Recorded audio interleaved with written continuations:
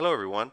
In this short video we're going to take a look at creating a road corridor that connects a 3D feature on the left and right side of my corridor and builds a straight grade between them, so ignoring any crown. In this example we're going to consider the case where we have the survey of our gutter line, our lip of gutter. This could be edge of pavement or any other feature, but let's just pretend we have the 3D position of that gutter line and we want to connect straight grade across it. Let's take a look at what we have. So first of all, I have a simple tangent alignment here in the middle. And I have an offset alignment left and right called left and right offset. They're 12 foot both sides of the alignment. These are going to mark the horizontal position of the gutter. More realistically, you would have these in the form of a feature line or some other feature from survey, but we're pretending we have these, so we're we built offset alignments for them. Same thing in profile. So here is my proposed profile, which is just straight longitudinal grade.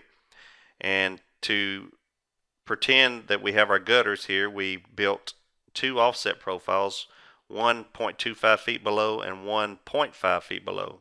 And notice the right gutter is the lower side from a profile standpoint. And one last note before we get started.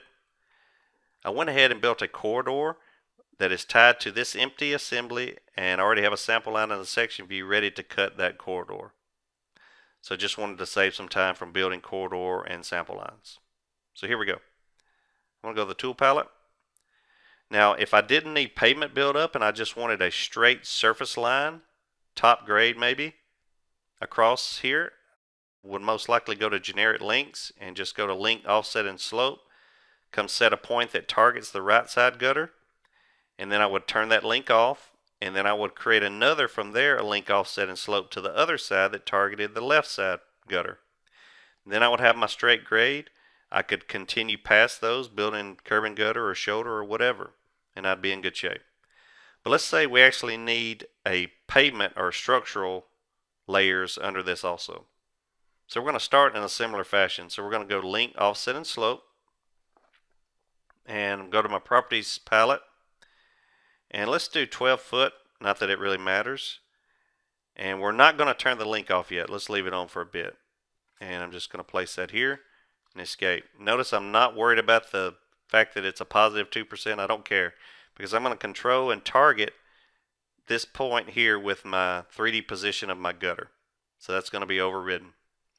So next I'm going to go up to our lanes tab.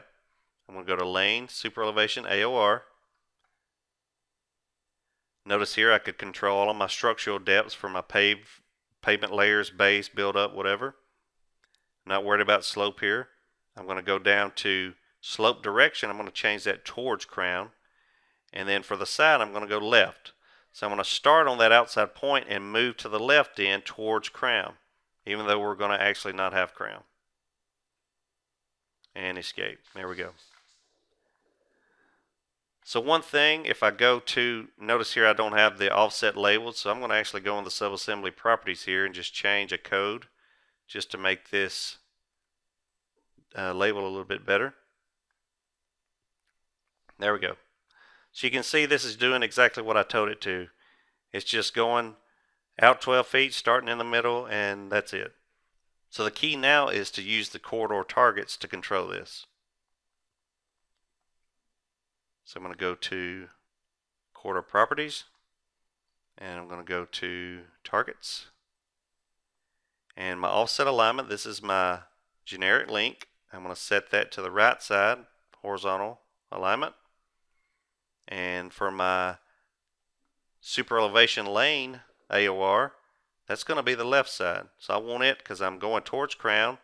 That's going to find that left side horizontal position to stretch it over across center line and same thing for profile. So for my, this is my generic link, so that's going to be the right gutter profile. And now for my lane, that's going to be the left gutter profile. Hit OK. Now, take a look at the section view in the bottom left as I hit OK here.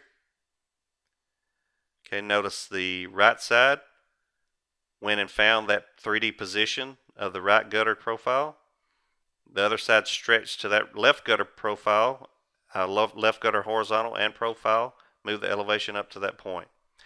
and that was about a quarter of a foot between those two, over 24 foot. That is about 1% slope. So we know we're, we're close here. One thing I would do now is, you know, before I started getting to any surface building, is I would go into the subassembly properties and omit that link, of that generic link. You don't need that. Messing up your surface. There we go. And now let's make a change. We'll go to our profile. And let's actually lower this lower side another quarter foot or 0.25. So I'll highlight the profile, go to Geometry Editor, raise lower, and we'll do a minus 0.25. Hit OK. And sure enough, we dropped this side because it's following that 3D position. We dropped another quarter of a foot, so that would be about 2% over 24 feet. So just to recap, we wanted to connect two gutter lips with a single cross slope on a roadway, ignoring the crown and the center line. And so this is one way to do it. I hope this has been beneficial.